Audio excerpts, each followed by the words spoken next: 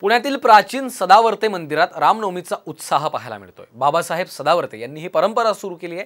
परिवारातील आठव्या पिढीपासून ही सेवा सुरू आहे. मंदिरातली रामाची मूर्ती नर्मदेतील भूकंपात दबल्या आहेत. असा दृष्टांत झाल्यानंतर तिथून पुण्यातील नारायण पेठेत आणली गेली असा इतिहास आहे. गोंदवलेकर महाराजांसह दिग्गज लोक या मंदिरात दर्शनासाठी सेवेला येत असतात आणि याचाच आढावा घेतला आहे आमचे प्रतिनिधी ज्ञानेश्वर हिंगोलीकर यांनी. आज श्री रामनवमीच्या निमित्ताने पुण्यातल्या वेगवेगळ्या मंदिरांमध्ये आपल्याला रामनामाचा जप ऐकायला येतोय. आम्ही सध्या सदावर्ते श्रीराम मंदिरामध्ये आहोत. ही सुंदर अशी विलोभनीय मूर्ती. पहिलं तर वैशिष्ट्य म्हणजे माझे सासरे बाबासाहेब सदावर्ते यांनी ही सगळी परंपरा सुरू केली. त्यांच्यानंतर ते गेल्यानंतर माझ्यावर जबाबदारी मी सुरुवात केली आणि त्यांनी जो रस्ता राखून दाखवून दिला त्याच्याप्रमाणे मी त्या रस्त्यावरून चालले.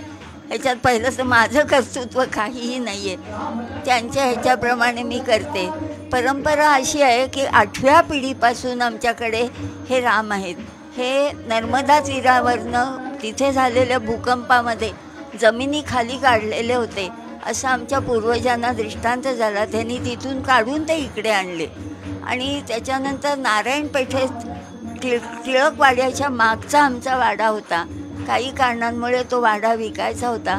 त्यावेळेलाही त्यांना माझ्या सासऱ्यांना दृष्टांत झाला की मला मारुती समोर घेऊन जा.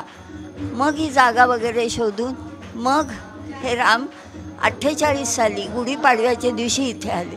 आता त्या निमित्ताने आहे पण पंच्याहत्तरावं वर्ष आम्ही साजरं करतो आहे हे देवाच्या कृपेने आम्हाला सगळ्यांना सेवा लाभते आहे हे आमचं भाग्य आहे. कॅमेरा पर्सन किरण काजळेसह मी Dnyaneshwar Hingolikar Saam T V news Pune.